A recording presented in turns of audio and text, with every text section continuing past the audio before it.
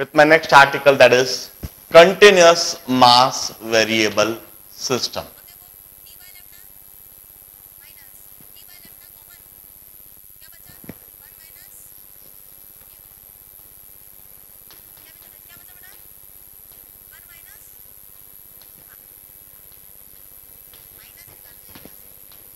अभी जो मैंने सिचुएशन डिस्कस करी it was discrete mass variation discrete mass variation में एक फिक्स टाइम में एक फिक्स मास हमारे सिस्टम से या तो डिटैच हो जाता है या अटैच हो जाता है। अभी हमने मासेस को जब जब फेंका तो एक फिक्स टाइम में एक फिक्स मास डिटैच हुआ। इसलिए वह डिस्क्रीट मास वेरिएबल सिस्टम था। Now a continuous mass variable system में पहले कुछ एग्जांपल्स बताता हूँ। फॉर एग्जांपल एक पानी का टैंकर है, पानी भरा हुआ है, आगे बढ़ता जा रहा है, और उसमें छेद है, जो कि होता है। वो टैंकर आगे बढ़ता जाता है और उसका पानी धीरे धीरे नीचे गिरता भी जाता है।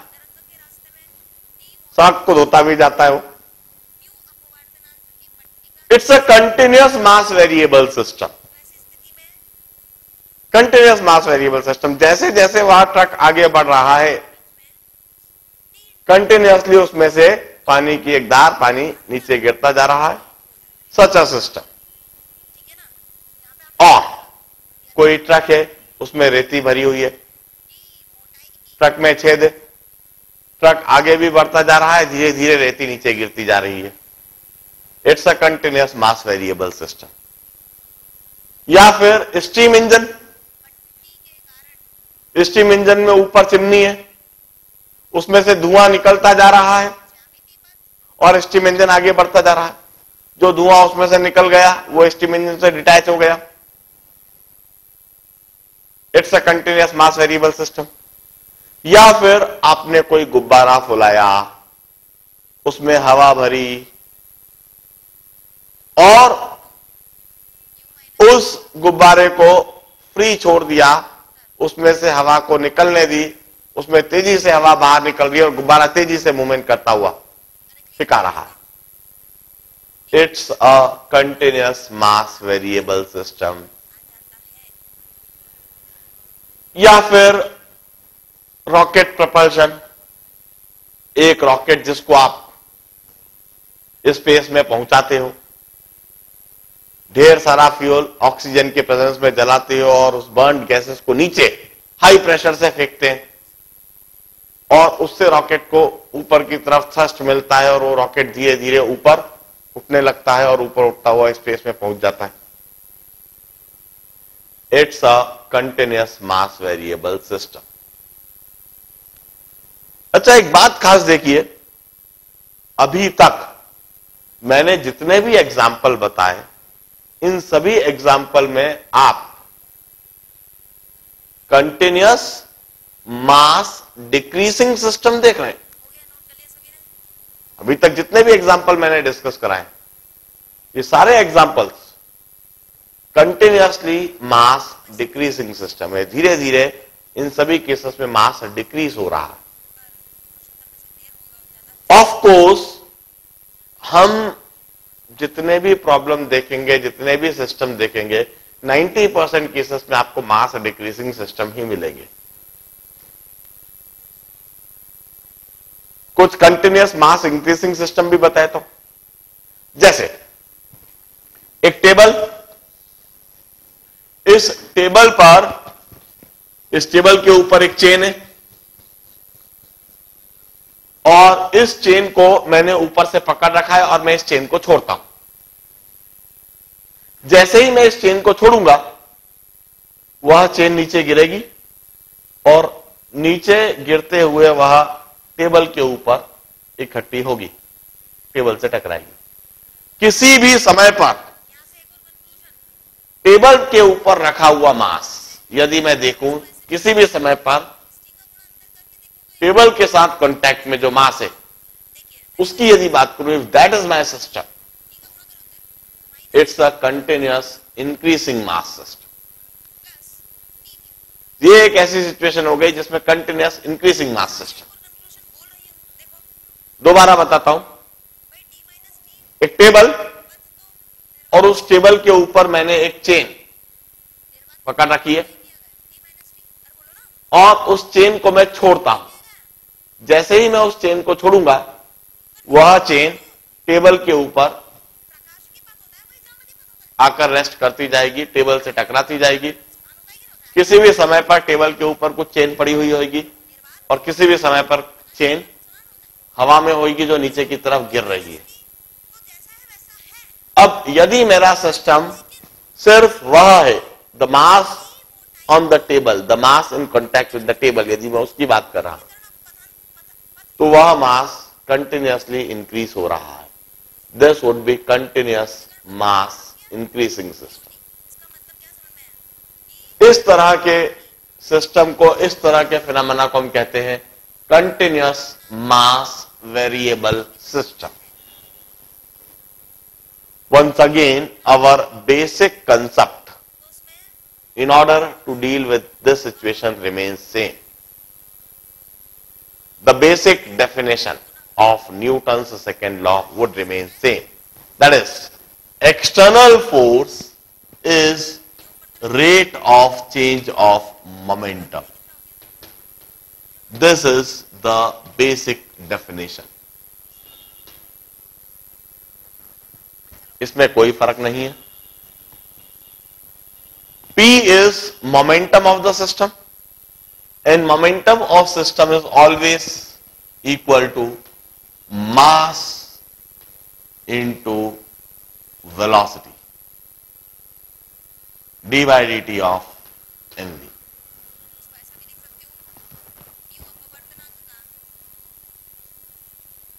हम इस तरह से बेसिकली यही डेफिनेशन अप्लाई करते हैं once again d by d t of m v कैसे लिखते हैं? M is a physical quantity v is another physical quantity both the physical quantity are variable velocity variable होता ही है। इस चेन में, किसी भी केस में वेलोसिटी तो कुछ भी हो सकता है। बढ़ता, घटता है इस केस में कॉन्स्टेंटली बढ़ेगा। और, चूँकि मास वेरिएबल सिस्टम की बात करें तो मास भी वेरी हो रहा है, इधर भी, और बाकी सब सिस्टम में भी। We have got product of two variables दो वेरिएबल्स का प्रोडक्ट है। और उसका डी डी टी हमें करना है। Now the concept of calculus says, यदि दो वेरिएबल का डी डी टी करना है तो एक स्टैंडर्ड तरीका है कि पहले एक वेरिएबल को कांस्टेंट रखो और दूसरे वेरिएबल को डिफरेंशिएट करो। फिर दूसरे वेरिएबल को कांस्टेंट रखो और पहले वेरिएबल को डिफ्रेंशिएट करो। मैंने मास को कांस्टेंट रखा और v को डिफ्रेंशिएट करूँगा dv बाय dt फिर वेलोसिटी को कांस्टेंट रखूँगा और मास को डिफ्रेंशिएट करूँगा dm by dt this is a generalized equation that we always apply even for any type of continuous mass variable system किसी भी तरह के कंटिन्यूस मास वेरिएबल सिस्टम के लिए यह इक्वेशन हम हमेशा अप्लाई कर सकते हैं। मगर इस इक्वेशन को भी कैसे अप्लाई करना है वो सिखाऊँगा। मैं केस वन बताता हूँ सबसे पहला case if we have got continuous mass decreasing system जैसे कि जनरली अधिकतर केस होते हैं मास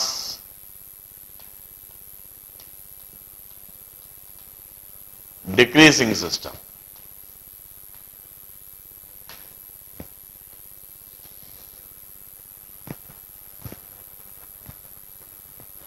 देखिए, यह कोई सिस्टम है किसी भी इंस्टेंट पर at any instant at any time t the system have got mass m and system is applied with some external force, F external, and it's moving with some velocity V.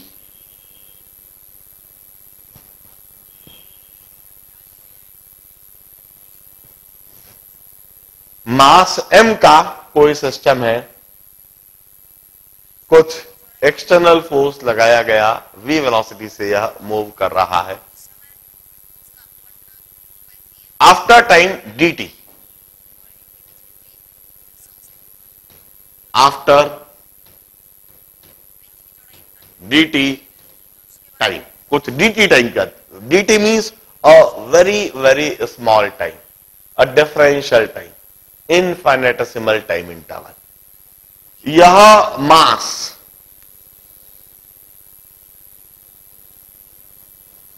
dt time में एक छोटे से मास को बाहर निकाल देता है। यह जो पेरेंट मास है डीटी टाइम में एक छोटे से मास को बाहर निकाल देता है। यह डीएम मास है जिसे इसने बाहर निकाल दिया। और डीएम मास निकालने के बाद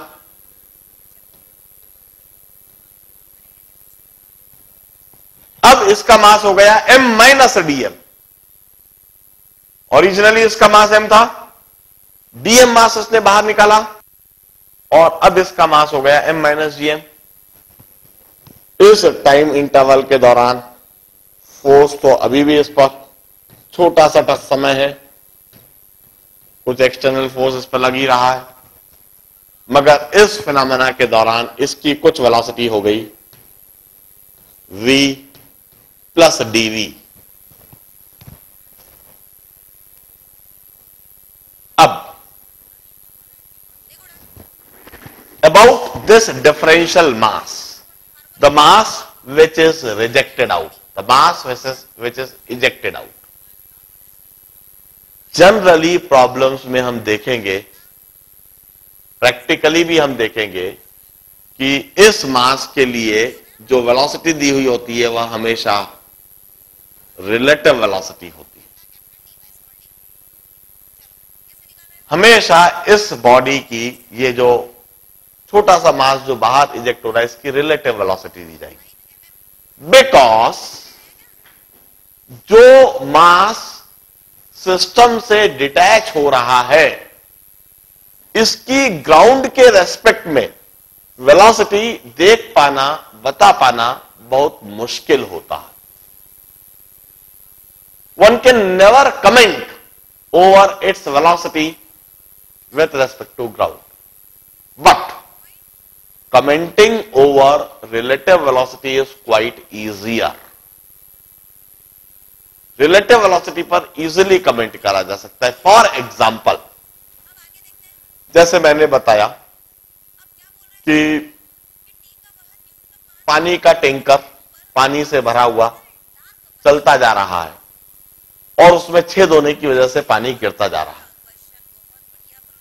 गिरते हुए पानी की ग्राउंड के रेस्पेक्ट में वेलोसिटी नहीं बताई जा सकती। गिरते हुए पानी की ग्राउंड के रेस्पेक्ट में वेलोसिटी नहीं बताई जा सकती।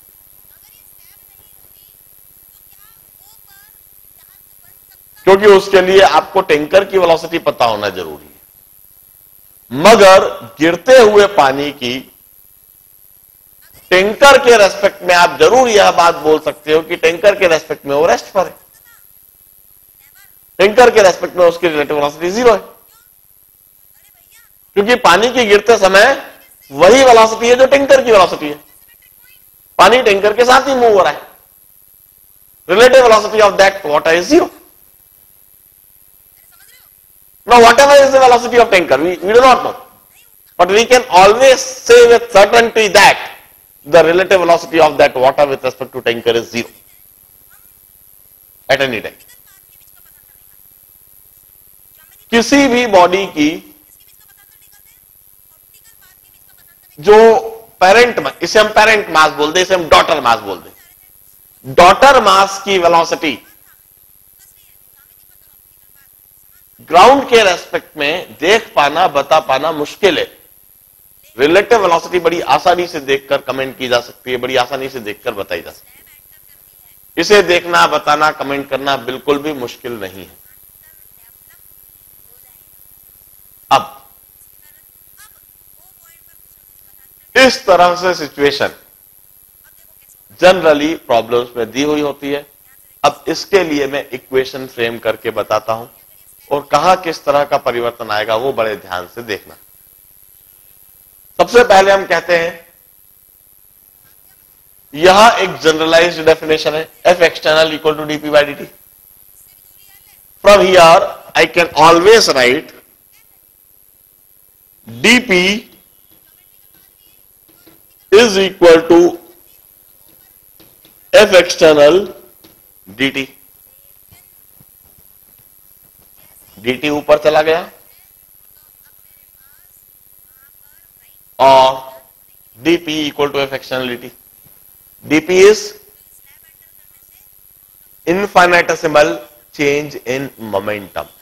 Very small change in momentum during very small time interval. छोटे से टाइम इंटरवल में जो छोटा सा मोमेंटम चेंज होएगा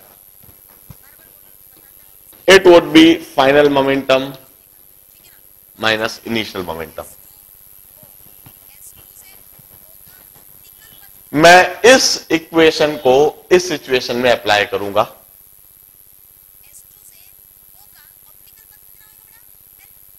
हम इनिशियल कंडीशन यह लेंगे। This is initial condition before time d t और इसे हम फाइनल कंडीशन लेंगे। But as I already told you momentum मुझे लिखना है। मोमेंटम हमेशा ग्राउंड के रेस्पेक्ट में लिखा जाएगा। पेरेंट मास की वेलोसिटी तो मुझे ग्राउंड के रेस्पेक्ट में दिख रही है, कोई समस्या नहीं। मगर डॉटर मास की वेलोसिटी यह ग्राउंड के रेस्पेक्ट में नहीं है। यह जो वेलोसिटी दी हुई है, यह रिलेटिव वेलोसिटी दी हुई रहती है। मैं इसे ग्राउंड के रेस्पेक्ट में लिखता हूँ, फिर वापस डेफिनेशन मेरी हमेशा वही रहती है। Relative velocity is velocity of body with respect to ground minus the velocity of reference definition तो हमेशा यही लगाता हूँ स्टैंडर्ड डेफिनेशन इधर से मैं लिखता हूँ velocity with respect to ground is relative velocity plus velocity of reference velocity of daughter body with respect to ground is relative velocity u relative जो भी कुछ दी हुई हो plus velocity of reference reference is always the parent mass जो parent mass होता है वह reference होता है it's v plus dv this is the velocity with respect to ground हमने ग्राउंड के रेस्पेक्ट में वेलोसिटी लिख ली। अब मैं इस इक्वेशन को अप्लाई कर रहा हूँ। मैं F external D T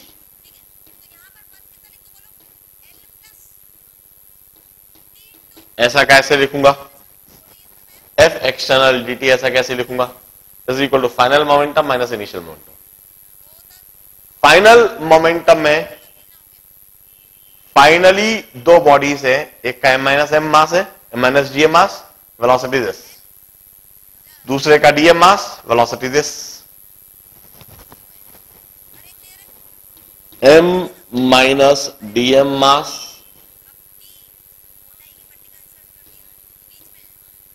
velocity v plus dv दूसरे का dm mass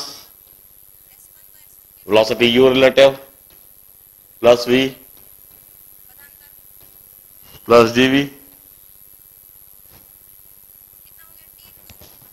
यह मैंने फाइनल मोमेंटम लिखा। फाइनल मोमेंटम में दो मासेस लिए हैं। एक parent mass m minus g m एक डॉटर मास दोनों की वेलोसिटी ग्राउंड के रेस्पेक्ट में। Minus initial momentum minus initially initially mass m है वेलोसिटी वी है एम इन टू वी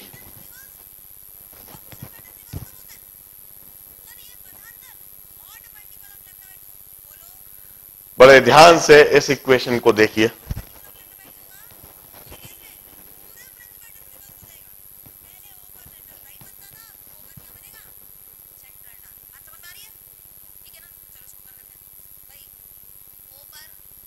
अब मैं ये स्मॉल ब्रैकेट खोलूँगा। और जो जो टर्म्स कैंसिल हो रही हैं, उनको कैंसिल करूँगा। एफ़ एक्सटर्नल डी टी ऐसा का ऐसा ही। इधर होगा m v plus m d v minus v dm minus dm dv यहाँ मैंने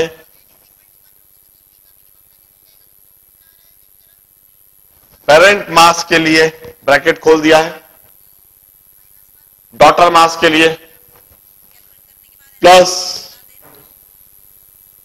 u relative dm plus v dm plus dm dv minus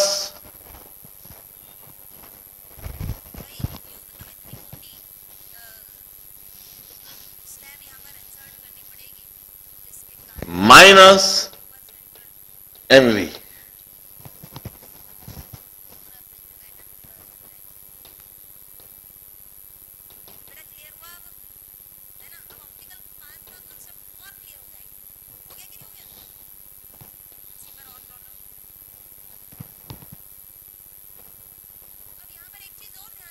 minus m v daughter mass के लिए भी तीन टर्म आ गई। और इनिशियल मोमेंटम की एक टर्म आ गई। जरा ध्यान से देखिए इक्वेशन ब्रैकेट स्वयं खोल कर देखिए। अब जो टर्म्स कैंसिल हो सकती हैं, उनको कैंसिल कर दीजिए, काट दीजिए। देखिए कौन कौन सी टर्म कैंसिल हो रही है। एक तो माइनस वीडीएम प्लस वीडीएम करता हुआ दिखेगा। एक mv plus mv minus mv कटता हुआ दिखेगा। एक माइनस डीएमडीवी और एक प्लस डीएमडीवी करता हुआ दिखेगा।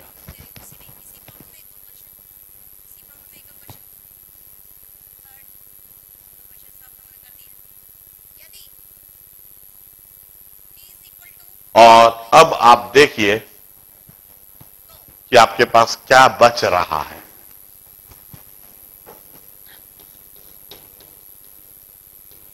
F external d t is equal to m v plus u relative dm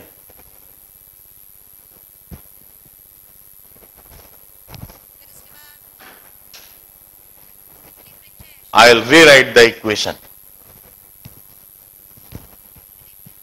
और फाइनली मास डिक्रीजिंग सिस्टम के लिए मैं जो इक्वेशन ऑप्टेन कर रहा हूँ, उसको ध्यान से देखिए, उसको दिमाग में बैठाइए मेमोराइज करके रखिए। डी टी नीचे ले आता हूँ। F external is m dv by d t m dv by dt plus u relative dm by dt u relative dm by dt this is the equation that we will apply for a continuous mass decreasing system. F external equal to m dv by d t plus u relative d by d t जरा देखिए। F external इधर भी F external is equal to is equal to m dv by d t m dv by d t plus इधर फ़र्क दिख रहा है। V dm by d t T जबकि इधर क्या है? U relative dm by d t इस वेलोसिटी की जगह पर हम जो मास डिटैच हो रहा है, उसकी रिलेटिव वेलोसिटी सब्सटीट्यूट करते हैं उसकी रिलेटिव वेलोसिटी सब्सटीट्यूट करते हैं this is the equation a generalized equation that will always apply for any mass decreasing system. मैं इसी समय एक एग्ज़ाम्पल बताऊँगा, मैं इसी समय केस बताऊँगा। इसको अप्लाई करने का तरीका अभी सिखाऊँगा।